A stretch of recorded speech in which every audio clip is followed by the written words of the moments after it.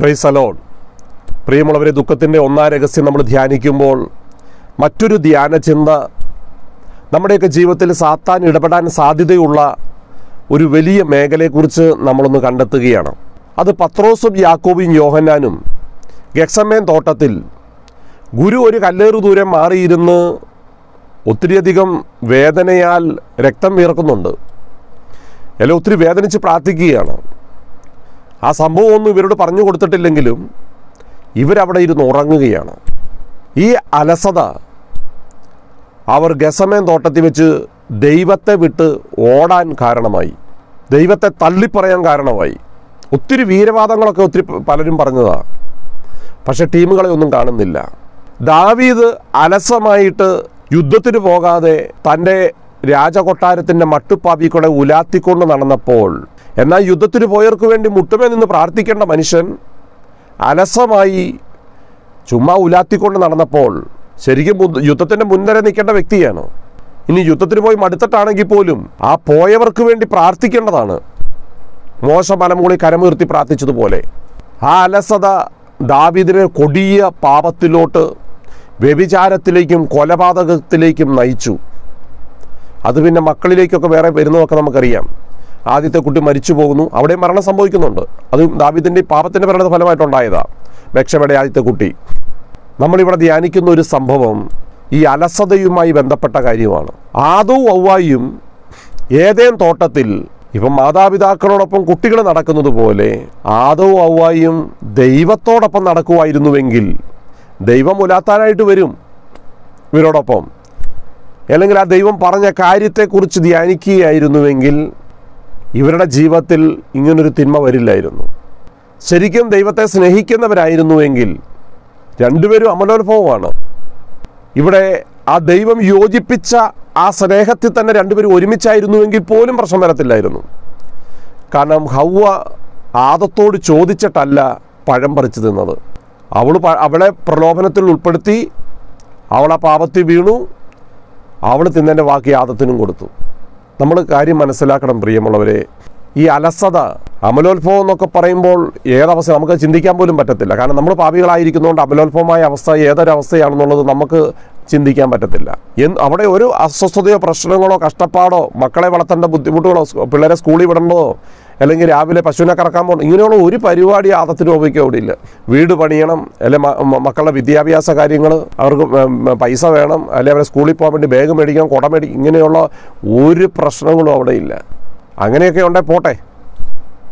അല്ലെ ആദം തെങ്ങിന്റെ ചുവട് കിളയ്ക്കാൻ പോയതാണ് അല്ലെങ്കിൽ രാവിലെ ബാങ്കിൽ പോയതാണ്.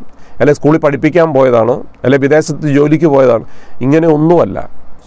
അപ്പം ദൈവത്തോടൊപ്പം ആയിരിക്കുന്ന ആ മക്കൾ ആ ദൈവത്തോടൊപ്പം ദൈവിക കാര്യങ്ങളിൽ വ്യാപൃതരായിരുന്നുവെങ്കിൽ നോക്കിക്കേ ഗസമേൻ തോട്ടത്തിലാണെങ്കിലും അപ്പസ്വലന്മാർ ദൈവത്തോടൊപ്പം നിന്നില്ല.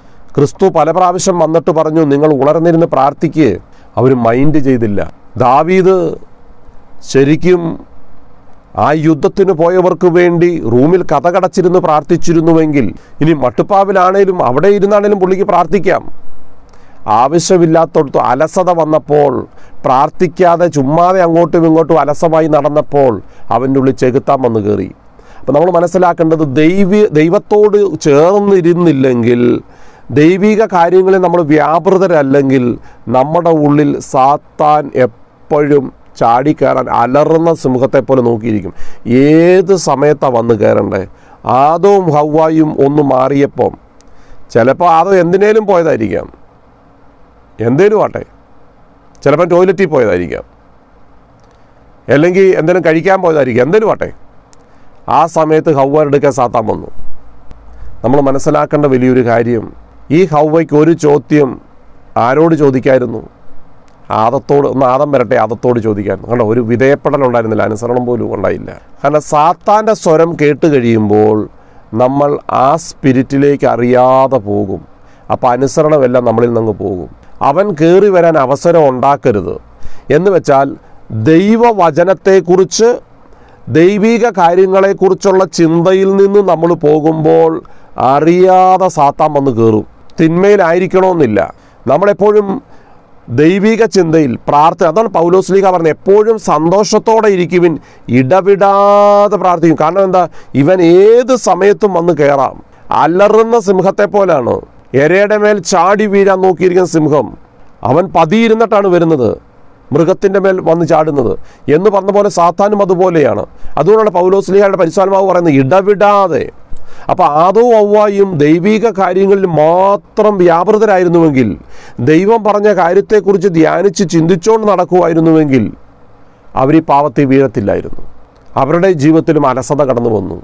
അപ്പോൾ സാത്താൻ അതിനകത്തൂടെ വലിഞ്ഞു കയറി എന്ന് വെച്ചാൽ ദൈവികമായ ചിന്തയിൽ തന്നെയാണെങ്കിൽ പിന്നെ നമുക്ക് വേറൊരു വ്യക്തിയുടെ സ്വരം കേൾക്കാൻ നമുക്ക് ആവശ്യമില്ല ഇവിടെ. ദൈവ ദൈവത്തിന്റെ കാര്യങ്ങളിൽ. ഇപ്പോൾ ആത്മീയമായിട്ടൊരു മനുഷ്യൻ പള്ളിയിൽ പോയി കഴിഞ്ഞാൽ അല്പം ആത്മീയത ഉള്ള ദൈവസ്നേഹമുള്ള വ്യക്തിയാണെങ്കിൽ ഇപ്പോഴത്തെ ഒരു കാലഘട്ടവുമായിട്ട് പറയുവാണെങ്കിൽ മൊബൈലുമായിട്ടാണ് പോകുന്നത്. നമ്മുടെ കയ്യിലൊക്കെ മൊബൈലുണ്ട്.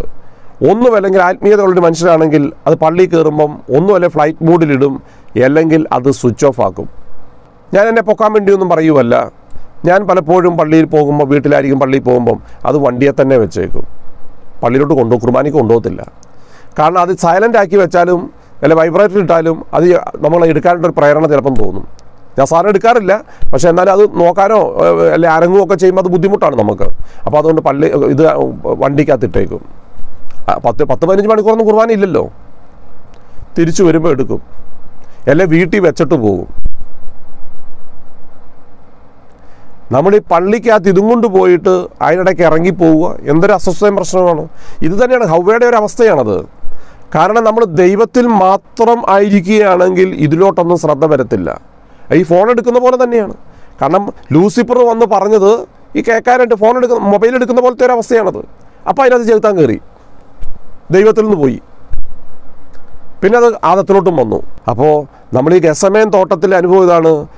പത്രോസും യാക്കോബും യോഹനാനും ക്രിസ്തുവിന്റെ വേദനയോടൊന്ന് ചേർന്നിരുന്നെങ്കിൽ ക്രിസ്തുവിനോട് ചേർന്നിരുന്നെങ്കിൽ ആദത്തോട് ഹൗവ ചേർന്നിരുന്നുവെങ്കിൽ ചിലപ്പം ഈ സ്വരത്തിന് ചെകുത്താൻ ഇവിടെ കയറാൻ പറ്റത്തില്ല. കാരണം എന്നാ? സ്ത്രീയെ വഞ്ചിക്കാൻ പറ്റും കാരണം ഭർത്താവുമായിട്ട് ഒരുമിച്ചിരിക്കുകയല്ലേ?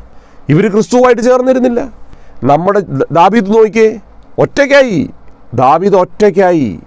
അലസത. ശരിക്കും യുദ്ധക്കളത്തിൽ പോകേണ്ട മനുഷ്യനാണ്. ഒറ്റയ്ക്ക് തിരിയുമ്പോൾ സാത്താൻ അവിടെ വലിഞ്ഞു കയറും. അവൻ സിംഹത്തെ പോലെ ചാടി വീഴും. പിന്നെ എല്ല് പോലും ബാക്കിയുണ്ടാവില്ല. സിംഹത്തിന് അങ്ങനെ ഒരു പ്രത്യേകത. ആരെ വിഴുങ്ങണം? അങ്ങനെ അങ്ങ് വിഴുങ്ങിക്കളയും. ചെന്നായി തിന്നുന്ന പോലെ കടിച്ചു കീറി കുറച്ചങ്ങോട്ട് തിന്നുമല്ല. ഇത് വിഴുങ്ങിക്കളയും. അതോടെ തീരും. അപ്പം അതുകൊണ്ട് നമ്മുടെ ജീവിതത്തിലും അലസത വരുമ്പോൾ വളരെ ശ്രദ്ധിക്കണം. ഇവിടെയെല്ലാം ചെകുത്താൻ കയറും. എന്നിട്ട് ഓടുകയാണ്. ക്രിസ്തുവിനെ വന്ന് പിടിച്ചു കഴിഞ്ഞപ്പോൾ ഓട്ടമായി അപ്പസോലന്മാർ നോക്കിയേ ദാവീദ് ആവശ്യമില്ലാത്തടത്തോട്ട് നോക്കാൻ തുടങ്ങി. ആദവും ഹൗവയും പഴം പറിച്ചു നിന്ന് ആവശ്യമില്ല ചെകുത്താൻ പറഞ്ഞെടുത്തോട്ട് നോക്കി. അതുവഴി മരണം മുഴുവൻ നശിച്ച്. ആദോ അവയും വഴി മക്കളിലോട്ട് വന്ന്. നോക്കിയേ അപ്പസ്തോലന്മാരുടെ അവസ്ഥ കണ്ടില്ലേ? ആ കുരിശുമായിട്ട് പോകുമ്പോൾ അപ്പസ്തോലന്മാർ അത് തള്ളാതിരുന്നെങ്കിലോ ഓരോരുത്തരുടെയും അവസ്ഥകൾ കണ്ടില്ലേ? യൂദാസും അതിൽ നിന്ന് വേർതിരിഞ്ഞു പോയി. യൂദാസും ഒറ്റപ്പെട്ട് നടന്നു പലപ്പോഴും. അതുകൊണ്ട് അവനിലും പിശാചി വന്ന് കയറി അവന് അവന് അലസതയല്ല അവന് പണത്തോടുള്ള അധ്വ അതിനു വേണ്ടി ഓട്ടമാണ് നെട്ടോട്ടം. അവന്റെ ഉള്ളിൽ ഒരു അധ്വാനശീലമാണ്. പക്ഷേ ആത്മീയ തലം വെച്ച് നോക്കും വേറൊരു അലസതയാണ് വേറൊരു പിശാചാണ്. ദ്രവ്യാസക്തി ആ കൂട്ടത്തിൽ നിന്ന് അവൻ പോയി. അപ്പോൾ എല്ലാവരുടെ ഉള്ളിലും ഇത് കയറി വന്നിട്ട്. അപ്പോൾ അതുകൊണ്ട് നമ്മൾ മനസ്സിലാക്കേണ്ട ഒരു കാര്യം നമ്മൾ ഇവരുടെയൊക്കെ ജീവിതവുമായി ബന്ധപ്പെട്ട് നമ്മളൊന്നും ചിന്തിക്കുന്നത് നല്ലതാണ്. ഗസമയം തോട്ടത്തിലെ അനുഭവം ആദത്തിന്റെ അവയുടെ അനുഭവം ദാവീദിന്റെ അനുഭവം നമ്മുടെ ജീവിതത്തിലെ അനുഭവവും കൂടെ നോക്കുക. പ്രിയമുള്ളവരെ നമ്മളും ക്രിസ്തി ക്രിസ്തുവുമായി ബന്ധപ്പെട്ടല്ല നമ്മൾ നിൽക്കുന്നതെങ്കിൽ നമ്മുടെ ഉള്ളിലും ചെകുത്താൻ കയറും നമ്മളും യൂട്യൂബിലൂടെയൊക്കെ ചിലരൊക്കെ ഭയങ്കരം പത്രോസും തോമാസ്ലിയൊക്കെ പറഞ്ഞ് നമുക്ക് അവനോട് പോയി മരിക്കാമെന്ന് പറഞ്ഞ പോലെ സഭയോട് ചിലപ്പോൾ സപ്പോർട്ട് ചെയ്യുന്ന പോലെ ആയിരിക്കും ചില വീരവാദങ്ങൾ അടിച്ചിളക്കുന്ന കേട്ടാൽ നമ്മൾ വിചാരിക്കും ഭയങ്കര ദൈവസ്നേഹമായിരിക്കും എന്ന്. വെടിയാണ് വെടി മിഷ്യൻ കണ്ട് വെച്ച്. നമ്മളെപ്പോഴും മനസ്സിലാക്കുക പ്രിയമുള്ളവരെ നമ്മൾ ദൈവം ആഗ്രഹിക്കുന്ന ആ ഒരവസ്ഥയിലേക്ക് നമ്മുടെ മനസ്സിനെ കൊണ്ടുവരിക. ഒത്തിരിയും ഇടുങ്ങിയ ചിന്തയിലാണ് പലപ്പോഴും അതിരിക്കുന്നത്. നമ്മുടെ ചിലരുടെയൊക്കെ യൂട്യൂബിലൂടെയുള്ള ചില ക്ലാസ്സുകൾ ഇപ്പോൾ നടക്കുന്ന സഭയ്ക്കെതിരെയുള്ള പ്രതിസന്ധികൾക്കെതിരെ ചിലർക്ക് ആഞ്ഞടിക്കുന്ന കേട്ട് കഴിഞ്ഞാൽ മറ്റു മനുഷ്യരൊക്കെ ചെകുത്താൻ സൃഷ്ടിച്ചതാണെന്നോ നരകത്തിനു വേണ്ടി മാത്രം ജനിച്ചതാണെന്നോ അങ്ങനെയൊക്കെ ചിലപ്പോൾ ചിന്തിച്ചു പോകും. അവരുടെ അവസ്ഥയൊന്ന് ചിന്തിച്ചു നോക്കി അവരുടെ ആത്മാക്കളുടെ അവസ്ഥയും ചിന്തിച്ചു നോക്കി സ്വർഗത്തിലിരിക്കുന്ന ദൈവം ഇവരെക്കുറിച്ച് എന്താ ചിന്തിക്കുന്നത് പരിശുദ്ധ അമ്മയും വിശുദ്ധരും ഈ ദൈവത്തെ അറിയാത്ത ഈ ക്രൈസ്തവരെ പീഡിപ്പിക്കുന്നവരെ എങ്ങനെയാണ് നോക്കുന്നത്? വെറുപ്പോടെയാണോ? ഈശോയാണ് ഈ ഭൂമിയിലോട്ട് ഇപ്പം വരുന്നതെങ്കിൽ മനുഷ്യനായിട്ട് വരുന്നതെങ്കിൽ അല്ലെ ഈശോയുടെ പരസ്യജീവിതം ഇപ്പോഴാണെങ്കിൽ ഇവരെയൊക്കെ എന്തായിരിക്കും ഈശോ ചെയ്യുന്നത്? വെടിവെച്ച് കൊല്ലുവോ? അപ്പം അതുകൊണ്ട് പ്രിയമുള്ളവരെ നമ്മൾ പലപ്പോഴും പറയുന്നത് ഒരു നന്മയല്ല. നമ്മൾക്കൊരു തീഷ്ണതയൊക്കെ നമ്മുടെ ഉള്ളിലുള്ളത് ചിലത് ഭയത്തിൽ നിന്ന് കടന്നു വരുന്നതാണ്. ആ പത്രോസും യാക്കോ യോഹനാനും ഒക്കെ ഉറങ്ങിയപ്പോൾ വേറൊരാൾ അവളി അവർ കയറി ഭയത്തിന്റെ ആത്മാവ്. അതുകൊണ്ടാണ് ഗസമൻ തോട്ടത്തിൽ വെച്ച് ഓടിയത്. ഗുരുവിനോട് ചേരാൻ പറ്റിയില്ല. ദൈവം വന്നിട്ട് പലപ്പോഴും പലതും പറയുന്നുണ്ട്. ഉം ഹും. ആദത്തും വീടും പറഞ്ഞ പോലെയാ. അലസത ഗൗരവമായി എടുത്തില്ല. ക്രിസ്തുവിന്റെ വേദന ഗൗരവമായി എടുത്തില്ല. ദാവീദ് യുദ്ധം വലിയ ഗൗരവമായിട്ട് എടുത്തില്ല. കാരണം വലിയ ഗോലിയാത്തിനെയൊക്കെ കൊന്ന് ഭയങ്കരമായിട്ട് വന്നയാളല്ലേ. പ്രശ്നമൊന്നുമില്ലെന്ന്. സിമ്പിളാണ് നമ്മുടെ ജീവിതങ്ങളെയും പ്രിയമുള്ളവർ ഇച്ചിരി ഗൗരവത്തിൽ നമുക്കെടുക്കാം നമ്മൾ ക്രിസ്തുവിനെ കൊടുക്കാതെ ബാക്കി എന്തു കൊടുക്കുന്നതും ഒരലസത തന്നെയാണ്. ക്രിസ്തുവിനെ കൊടുക്കലാണ് യഥാർത്ഥമായ ഉപവിപ്രവർത്തനം യഥാർത്ഥമായ ചാരിറ്റി. അതിനേക്കാൾ വലിയൊരു നന്മയില്ല ഈ ഭൂമിയിൽ. നമ്മുടെ ജീവൻ തന്നെ കൊടുത്താലും ഒരു കാര്യവുമില്ല. നമ്മൾ കൊടുക്കേണ്ടത് ക്രിസ്തുവിനെയാണ്. കാരണം എല്ലാവർക്കും വീട് വേണ്ട. പക്ഷേ ക്രിസ്തുവിനെ വേണ്ടാത്തത് ആരുമില്ല. എല്ലാവർക്കും ക്രിസ്തുവിനെ വേണം. ക്രിസ്തുവിലൂടെ മാത്രമേ പറ്റൂ. അതുകൊണ്ട് അലസത വിടണം. പ്രത്യേകിച്ച് ഒരു ക്രിസ്തു ശുശ്രൂഷകൻ അല്ലെ ഒരു ക്രിസ്ത്യാനി അല്ലെ ഒരു ക്രിസ്തുവിൽ വിശ്വസിക്കുന്ന വ്യക്തി സഭയിലായിരിക്കുന്ന വ്യക്തി അലസത വിടണം. നന്നായിട്ട് പ്രാർത്ഥിക്കണം. ദൈവത്തോട് ചേർന്ന് മുമ്പോട്ട് പോകണം. അല്ലെങ്കിൽ നമ്മുടെ ഉള്ളിലോട്ട് ചിലപ്പം തരുന്ന ചിന്തകളും നമ്മൾ ചിലപ്പം പ്രസംഗിക്കുന്നതും ഒക്കെ മറ്റുള്ളവരിൽ വെറുപ്പുളവാക്കാൻ കാരണമാകും. മറ്റൊരു മതത്തിലുള്ള ഒരു വ്യക്തി ഇത് കേൾക്കുമ്പോൾ ആ വ്യക്തിക്ക് വെറുപ്പാണ് ഉണ്ടാവുക. ക്രിസ്തുവിനോടും ക്രിസ്തുവിന്റെ സംവിധാനങ്ങളോടുമൊക്കെ ക്രൈസ്തവരോടുമൊക്കെ അവർക്ക് വെറുപ്പാണ് തോന്നുക. ദൈവം സ്നേഹമാണ്. യഥാർത്ഥ സുവിശേഷം അതുതന്നെയാണ് കത്തോലിക്കൻ ഈ ഭൂമിയിൽ സംരക്ഷണം കിട്ടിക്കൊണ്ടിരുന്നിട്ട് എന്താ കാര്യം? ആരെങ്കിലും ക്രിസ്തുവിനെ അറിയുമോ നമ്മുടെ സ്ഥാപനങ്ങൾക്കൊന്നും പറ്റുന്നില്ല കത്തോലിക്കർക്കൊന്നും പറ്റുന്നില്ല. ഇപ്പോൾ നമ്മൾ നോക്കിയ പ്രിയമുള്ളവർ നമ്മുടെയൊക്കെ ധ്യാന കേന്ദ്രത്തിൽ വന്ന് ധ്യാനിച്ചു പോകുന്ന ആർക്കാണ് മാനസാന്തരം ഉണ്ടാകുന്നത്? കുറേ പേർക്ക് രോഗശാന്തി കിട്ടുന്നുണ്ട് കുറേ പേര് വിദേശത്ത് പോകുന്നുണ്ട് വീട് പണി നടക്കുന്നു ഭൗതികമായ കുറേ കാര്യങ്ങൾ കിട്ടുന്നുണ്ട്. ആരുടെയാണ് ആത്മാവ് രക്ഷപ്പെടുന്നത്? എന്നാൽ ആദ്യകാലങ്ങളിലൊക്കെ ഡിവൈനിലൊക്കെ ധ്യാനത്തിന് വരുന്നപ്പം യേശു ഏകരക്ഷകൻ എന്നുള്ള ക്ലാസ് കൊടുത്തിരുന്നു. അവരൊക്കെ തീഷ്ണതയോടെ ക്രിസ്തുവിനെ കൊടുക്കാൻ ഓടി. ഭയങ്കര തീഷ്ണതയായിരുന്നു. ഒത്തിരി വിജാതി യേശുവിനെ അറിഞ്ഞു. അതുവഴി സഭയ്ക്ക് വലിയൊരു നേട്ടം ഉണ്ടായി ഒത്തിരി ആത്മാക്കൾ ക്രിസ്തുവിനെ അറിഞ്ഞു. നമ്മൾ തന്നെ മാറിപ്പോയി. അതുകൊണ്ട് പ്രിയമുള്ളവരെ നമ്മൾ ധ്യാനത്തെക്കുറിച്ച് ചിന്തിക്കുകയല്ല. നമ്മൾ ഈ ദുഃഖത്തിന്റെ ഒന്നാം രഹസ്യം ധ്യാനിക്കുമ്പോൾ ഈ അപ്പസ്തോലന്മാരുടെ അലസത നമ്മുടെ ജീവിതത്തിലെ അലസത ആദത്തിന്റെ അവരുടെയും ജീവിതത്തിൽ വന്നുപോയത് അവരുടെ ഉള്ളിൽ ചെകുത്താൻ കയറിയത് ഇതെല്ലാം നമ്മളൊന്ന് ചിന്തിക്കുന്നത് നല്ലതാണ്. നമ്മൾ ക്രിസ്തുവിനോട് ചേർന്ന് നിൽക്കണം. ക്രിസ്തു പറയുന്നത് കേൾക്കണം. ആദവും അവയും ദൈവം പറഞ്ഞ് കേട്ടില്ല. പത്രോസിനോടും യാക്കോനോടും യോഹനാനോടും ഈശോ പല പ്രാവശ്യം വന്നിട്ട് പറഞ്ഞു മക്കളെ ഉണർന്നിരുന്ന് പ്രാർത്ഥിക്കുക പിശാചി നിങ്ങളെ പ്രലോഭിപ്പിക്കും. സാത്താൻ നിങ്ങളെ ഗോതമ്പ് പാറ്റുന്ന പോലെ പാറ്റും ഒന്നും മൈൻഡ് ചെയ്തില്ല. ഒന്നും മൈൻഡ് ചെയ്തില്ല. പ്രിയമുള്ളവരെ നമ്മുടെ ജീവിതത്തിലും സാത്താൻ പല ചിന്തകൾ നമ്മുടെ ഉള്ളിലോട്ട് വരും തരും. അത് എല്ലാം ഒന്നും ദൈവത്തിന്റെ ആയിരിക്കണമെന്നില്ല. തിരിച്ചറിയാൻ നമുക്ക് പറ്റത്തില്ല. നമുക്ക് നന്മയായിട്ട് പലതും തോന്നും. നല്ലതാണെന്ന് തോന്നും. മോശമാണെന്ന് പറഞ്ഞുകൊണ്ടാണോ ആദോ ഔവായും പറിച്ചു തിന്നത്? ദൈവത്തെ പോലാക്കാന്നല്ലേ പറഞ്ഞത്? നല്ല രീതിയിലാണ് സാത്താന്റെ ഉപദേശങ്ങൾ എപ്പോഴും വരിക. ഒട്ടും മോശമായിട്ട് നിന്നെ തകർത്ത് കളയുന്നു നിന്നെ നശിപ്പിക്കുന്നു നിന്നെ ദൈവത്തിൽ നിന്ന് അകറ്റുമെന്നോ നിന്നെ കൊന്നു കളയുന്നൊന്നും സാത്താൻ പറയത്തില്ല. എല്ലാം നല്ലതാ. നല്ല ഉപദേശങ്ങളാണ് നല്ലതുപോലെ തോന്നും. ഈശോ വന്നിട്ട് ദൈവത്തെ പോലാക്കാന്ന് പറഞ്ഞില്ല. എന്നെ പോലാക്കാന്ന് ഈശോ പറഞ്ഞില്ല. കാരണം സൃഷ്ടിച്ചത് തന്നെ അങ്ങനെയാണ്. പിന്നെ പറയേണ്ട കാര്യമില്ലല്ലോ. ഓൾറെഡി അങ്ങനെയാണ് ഇരിക്കുന്നത്. പിന്നെ പറയേണ്ട കാര്യമില്ലല്ലോ. ഇപ്പോൾ ഒരപ്പന്റെ ഒരപ്പൻ വന്നിട്ട് മോനോട് പറയുമോ നിന്നെ ഞാൻ എന്റെ മോനാക്കി തരാമെന്ന് പറയൂ. പറയേണ്ട കാര്യമില്ല. കാരണം എന്നെ ഓൾറെഡി മോനാണ്. അപ്പോൾ സാത്താൻ പറഞ്ഞു നിന്നെ ഞാൻ ആരാക്കി തരാം? അപ്പനാക്കി തരാം. ഇപ്പം നമ്മുടെ മാതാപിതാക്കൾ നമുക്ക് പ്രായമാകുമ്പം നമ്മളെ വിവാഹം കഴിപ്പിച്ച് വിടും. ആ വിവാഹവിളിയാണെങ്കിൽ അപ്പോൾ നമ്മൾ അപ്പനാവും അല്ലെ അമ്മയാവും. അതിന് രണ്ടാം ക്ലാസ്സിൽ പഠിക്കുന്ന ഒരു കുട്ടിയോട് നിന്നെ ഞാൻ അപ്പ അപ്പനാക്കാമെന്ന് പറയുമോ ഇല്ല. സാത്താൻ വന്നിട്ട് എന്താ പറഞ്ഞത് നിന്നെ ഇപ്പം ദൈവത്തെ പോലെ ആക്കാം. പഴം തിന്നാൽ മതി. എന്ന് പറഞ്ഞ പോലെയാണ്? ഞാൻ ഉദാ ഒരു ഉദാഹരണം പറഞ്ഞതേ ഉള്ളൂ. അപ്പോൾ അതുകൊണ്ട് പ്രിയമുള്ളവരെ നമ്മൾ മനസ്സിലാക്കണം ജീവിതത്തെക്കുറിച്ച് നമ്മൾ ആഴത്തിൽ ചിന്തിക്കണം. അലസത വിടണം. നമ്മളൊക്കെ പലപ്പോഴും അലസരാണ്. നമ്മൾ ക്രിസ്തുവിനെ വേണ്ട രീതിയിൽ കൊടുക്കുമ്പോഴാണ് നമ്മുടെ ഉള്ളിൽ നിന്ന് അലസത വിട്ടുമാറുന്നത്. നമ്മൾ ബാക്കിയുള്ള കാണിക്കുന്ന ഒന്നും ശരിക്കും ഒറിജിനൽ അല്ല. ശരിക്കും ഒരു രീതിയിൽ ഭയത്തിൽ നിന്ന് കടന്നു വരുന്ന ഒരലസതയുടെ പ്രവർത്തികളാണ്. സത്യം അത് തന്നെയാണ്. ഭയം കടന്നു വരുമ്പോൾ അല്ലെ അലസമായ ഒരവസ്ഥയിലൂടെയൊക്കെ നമ്മുടെ മനസ്സിനെ ഇങ്ങനെ ഇതൊക്കെ മതി. ഒരു ഒരു ഇതിലൂടെ അങ്ങ് പോയാൽ മതി. അത്യാവശ്യം പ്രാർത്ഥിക്കുക ഞായറാഴ്ച പള്ളിയിൽ പോവുക ഇച്ച ദശാംശമൊക്കെ കൊടുക്കുക കാറ്റിക്കസമൊക്കെ പഠിക്കുക പിള്ളേരൊക്കെ വിട്ട് പഠിപ്പിക്കുക പിന്നെ അത്യാവശ്യം ഇങ്ങനെ. നമ്മൾ മനുഷ്യരാണല്ലോ. നമുക്കിങ്ങനെ ദൈവത്തിന് അറിയാമല്ലോ എല്ലാം ദൈവത്തിന് ഇതൊക്കെ ഇതൊരു അലസതയുടെ സാധനമാണിത്. ഇതൊരു അലസതയാണ് നമ്മൾ ശരിക്കും ശ്രദ്ധിച്ചു നോക്കി ഏലിയായി മോശവും ജീവിച്ച ആർക്കു വേണ്ടിയാ? സക്രിയായി എലിസബത്തും ജീവിച്ച ആർക്കു വേണ്ടിയാ? ഔസപിതാവും മാതാവും ജീവിച്ച ആർക്കു വേണ്ടിയാ? അന്നയും യുവാക്കിയും ജീവിച്ചത് ആർക്കു വേണ്ടിയാ? നമ്മൾ ജീവിക്കുന്ന ആർക്കു വേണ്ടിയാ? ഇതാണ് അലസത. നമ്മൾ ഞാനും എന്റെ വീടും മാത്രം ഞാനും എന്റെ മക്കളും മാത്രം. ഇങ്ങനെ ഒരു ജീവിതം അത് സുരക്ഷിതമായിരിക്കണം. എന്റെ വിശ്വാസത്തിന് പോറലേൽക്കരുത്. എന്റെ കുഞ്ഞുങ്ങൾക്ക് പോറലേക്കല്ല് ഞാൻ എന്റെ പിള്ളേർ പഠിക്കുന്ന സ്ഥാപനത്തിനും വിദ്യാഭ്യാസ മേഖലകളിലും എന്റെ ജോലിക്കും കൂലിക്കും എന്റെ എന്റെ വാഹനങ്ങൾക്കും പ്രശ്നങ്ങൾക്കും എന്റെ ബാങ്ക് ഡിപ്പോസിറ്റിനും ഒരിടത്തും ഒരു പ്രശ്നമാണ് ഞങ്ങൾ ഇങ്ങനെ ഇങ്ങനെ ഒരു ഇങ്ങനെ ജീവിച്ചു പോകും. ഇത് തന്നെയായിരുന്നു പ്രിയമുള്ളവർ ധനവാനും. ഇതൊക്കെ ഒരു അലസതയാണ്. നമുക്കറിയത്തില്ല ഇത് അലസതയായിട്ട് നമുക്ക് തോന്നിയിട്ടില്ല അതാണ് അതിന്റെ പ്രശ്നം. അപ്പം അതുകൊണ്ട് നമുക്ക് തിരിയാം. യുദാസിന്റെ ഉള്ളിലോട്ട് വന്നത് വിശാലമായ ഒരു മനസ്സല്ല. ഒതുങ്ങിയ ചിന്തയാണ്. അങ്ങനെ അവൻ പുറത്തായി. അപ്പം അതുകൊണ്ട് പ്രിയമുള്ളവരെ നമുക്ക് ആഴത്തിൽ നമുക്ക് ധ്യാനിക്കാം. പത്രോസിലും യാക്കോവിലും യോഹനാനിലും ഒക്കെ കൂടി കടന്നുകൂടിയ അലസത നമ്മുടെ അവർ അത് അവസാനം ചെകുത്താൻ വന്ന് കയറി എല്ലാം ഓടി.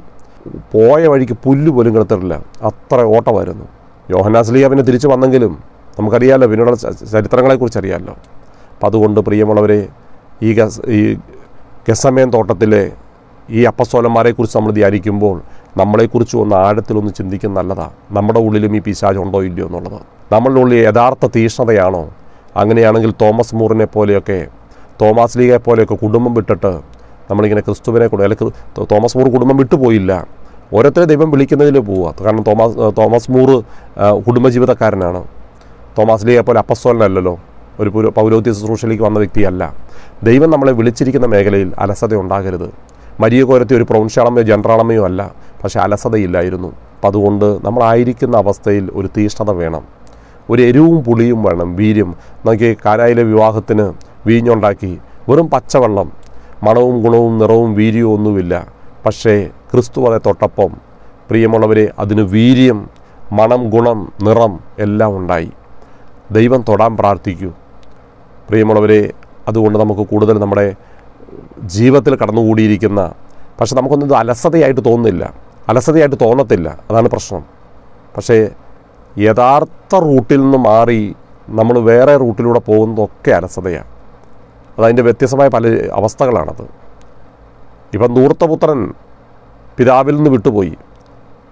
കുടുംബത്തോട് ചേർന്ന് നിന്നില്ല. അവസാനം പന്നിക്കുഴി ചെന്ന് പെട്ടു അവന്റെ ജീവിതത്തിലും ഇതുപോലൊരു സാധനമാണ് വന്നു കയറിയത്. അലസതയുടെ മറ്റൊരു രൂപമാണ്. അപ്പനോട് ചേർന്ന് നിൽക്കുമ്പം പ്രത്യേകിച്ച് അവനെ ഉദ്ദേശിക്കുന്ന ഒരു സുഖം കിട്ടിയില്ല. അപ്പോൾ ഈ അലസമായിട്ട് ഇപ്പം ദാവീദ് യുദ്ധത്തിന് പോകുമ്പോഴല്ലേ പ്രശ്നം വരുന്നത്? മട്ടുപാവി കൂടെ നടക്കുമ്പോൾ ഒരു സുഖമുണ്ടല്ലോ അപ്പോൾ ഓരോന്നിനും ഒരു സുഖമുണ്ട്. പലസമാണ് ദൈവിക കാര്യങ്ങളിൽ ചേർന്ന് നിൽക്കുമ്പം പത്രോസും പൗലോസും ഒക്കെ ഇരുന്ന് ഉറങ്ങുകയാണ്. ക്രിസ്തുവിനോട് ചേർന്ന് നിൽക്കുമ്പോൾ പ്രാർത്ഥിക്കേണ്ടി വരും. അപ്പം നമ്മൾ ചേർന്നിരിക്കാനായിട്ട് ശ്രമിക്കുക. മർക്കോസ് പത്ത് ഒമ്പത് ദൈവം യോജിപ്പിച്ചത് മനുഷ്യൻ വേർപെടുത്താതിരിക്കട്ടെ. എന്നും പറഞ്ഞ് ഭാര്യയും ഭർത്താവും എപ്പോഴും തോളക്കായിട്ട് നടക്കണമെന്നല്ല അതിന്റെ അർത്ഥം. ഹൃദയം കൊണ്ട് ദൈവം പറയുന്ന കാര്യങ്ങൾ അതെപ്പോഴും നമ്മൾ ശ്രദ്ധിക്കണം. അതിനോട് ചേർന്ന് നടക്കണം. കാരണം ദൈവത്തിനറിയാം ദുഷ്ടൻ എപ്പോഴാണ് വന്ന് കയറാൻ പോകുന്നതെന്ന്. അത് ആദത്തോടും അവയോടും പറഞ്ഞു പത്രോസിനോടും യാക്കോനോടും യോഹനാനോടും പറഞ്ഞു കൊടുത്തു. പ്രിയമുള്ളവർ നമ്മളോടും ഇതുപോലെ ദൈവം പറയുന്നുണ്ട്. നമ്മൾ ശ്രദ്ധിക്കണം. അല്ലെങ്കിൽ നമ്മൾ ഈ അലസതയിലൂടെ നമ്മുടെ ജീവിതത്തിലോട്ട് വന്നു കയറുന്നത് വേറെ വല്ലതുമായിരിക്കും സുവിശേഷ പ്രഘോഷകരായിരിക്കും. മറ്റുള്ളവർക്ക് പലതും ഒക്കെ പറഞ്ഞു പല വിഷയങ്ങളും ഒക്കെ കൊടുക്കുന്നുണ്ടാവും.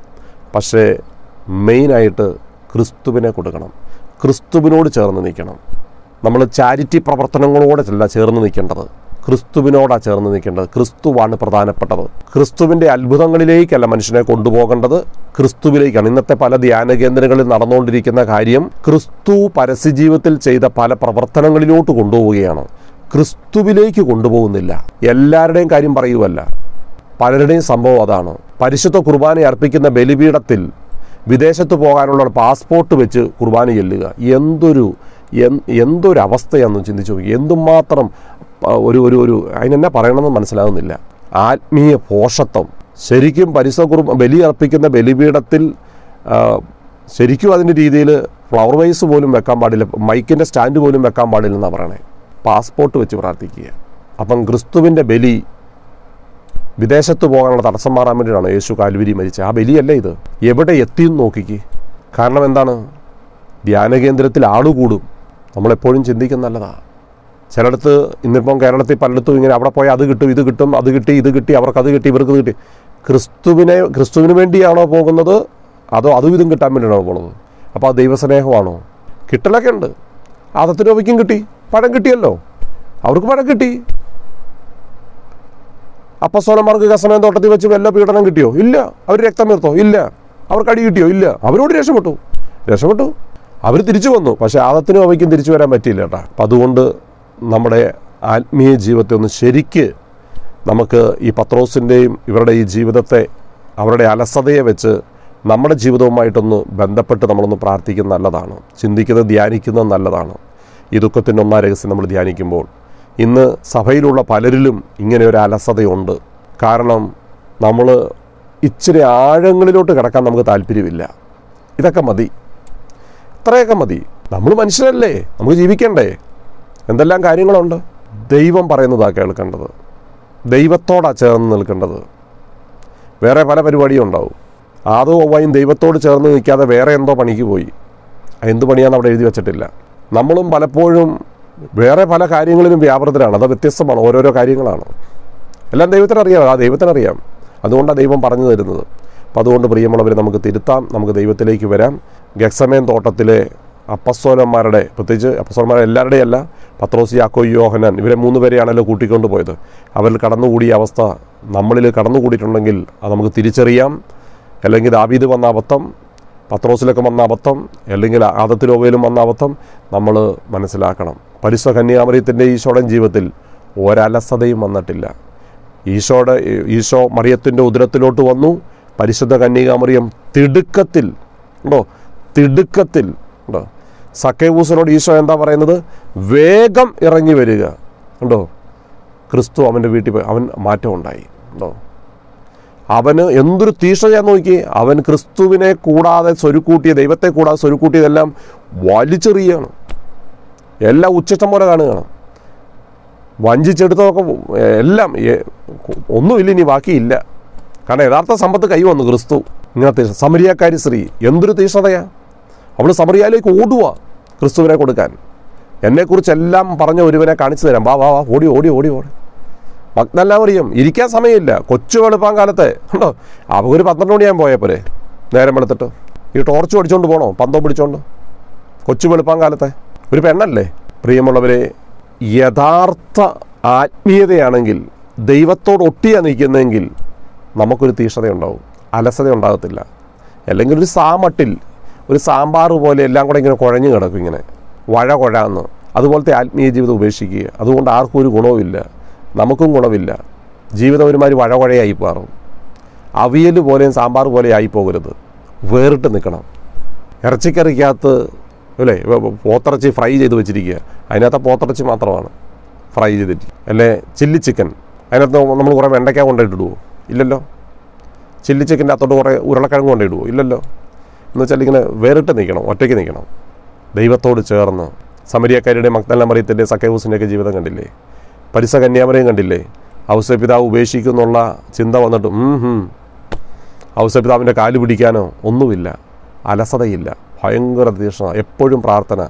മൂന്നാമത്തെ വയസ്സ് മുതലും പ്രാർത്ഥന. വീട്ടിലായിരിക്കുമ്പോഴും ഗുഹയിൽ പോയി പ്രാർത്ഥിക്കുമായിരുന്നു ഔസപിതാവും അലസതയൊന്നും ഉണ്ടായിരുന്നില്ല. പ്രാർത്ഥനയിലാണ് മറിയവുമായിട്ടുള്ള ഈ അവസ്ഥ ഉണ്ടാകുമ്പോഴും ഔസപിതാവ് പ്രാർത്ഥിക്കുകയാണ്. പ്രാർത്ഥനയിലാണ്. അപ്പം അതുകൊണ്ട് പിശാച് കയറിയില്ല അവസരം കൊടുത്തില്ല. അതുകൊണ്ട് ദൂതന്റെ സ്വരം കേട്ടു. മറിയത്തെ സ്വീകരിച്ചു. എല്ലാം മനോഹരമായി. അതുകൊണ്ട് ആ തിരുക്കുടുംബത്തിന്റെ ഒരു മനോഭാവം സക്രിയയുടെയും എലിസബത്തിന്റെ അടുക്കലേക്ക് രണ്ടുപേരുടെ ഓടുന്ന ഓട്ടം കുഞ്ഞിനെയും കൊണ്ട് ഈജിപ്തിലേക്ക് ഓടുന്ന ഓട്ടം ഉണ്ടോ അല്പം പോലും അലസത രാത്രിയാണെന്നോ വഴി അറിയത്തില്ലെന്നോ ഒന്നുമില്ല. ആ ഈജിപ്ത് എവിടെയാണെന്നോ എത്ര കിലോ ഒന്നുമില്ല. ഉടുതുണി പോലും ഓടുവാണ്. ഉടുതുണി മീൻസ് ഉടുതുണിക്ക് മനുഷ്യൻ മറുതുണി ഇല്ലാത്തൊരവസ്ഥ. ദാരിദ്ര്യം. അല്ലാണ്ട് എട്ട് പത്ത് ജോഡി ഡ്രസ്സുമായിട്ടൊന്നുമല്ല. സക്രിയ അടുക്കലോട്ട് ചെല്ലുമ്പോഴും ജെറുസലേം ദേവാലയത്തിൽ വെച്ച് യേശുവിനെ കാണാതാകുമ്പോഴും പിന്നെ അവിടെ അലസ പിടിച്ച് കുത്തിയിരിക്കുമല്ല ക്രിസ്തുവിനെ കണ്ടെത്താൻ ഓടുക പ്രിയമുള്ളവരെ ഈ ഒരു ക്രിസ്തുവുമായി ചുറ്റിപ്പെട്ട് പറ്റിയതായിരുന്നു അവസപിതാവിന്റെ മാതാവിന്റെ ജീവിതം. ക്രിസ്തുവുമായിട്ട് ഒട്ടിച്ചേർന്ന ജീവിതം. അപ്പം അല്ലെങ്കിൽ അവിടെ എല്ലാം പിശാച് കയറും. എന്നാൽ അവസപിതാവിന്റെ മാതാവിന്റെ ജീവിതത്തിൽ ഒരിടത്തും നമ്മൾ പ്രത്യേകം ശ്രദ്ധിക്കണം. മഗ്ദല മറിയത്തിന്റെയും അല്ലെങ്കിൽ സക്കേവൂസിന്റെയും സമരിയക്കാരുടെയും ജീവിതത്തിൽ അവർ പാപത്തിൽ ആദ്യമേ വീണെങ്കിലും പിന്നീട് അവരുടെ ജീവിതത്തിൽ ഈ അലസതയൊന്നും കാണുന്നില്ല. അപ്പം അതുകൊണ്ട് അങ്ങനെ ഒരു ആത്മീയതയ്ക്ക് വേണ്ടി നമുക്ക് ആഗ്രഹിക്കാം നമുക്ക് പ്രാർത്ഥിക്കാം. ദൈവം നമ്മെ അനുഗ്രഹിക്കട്ടെ. ആമേൻ.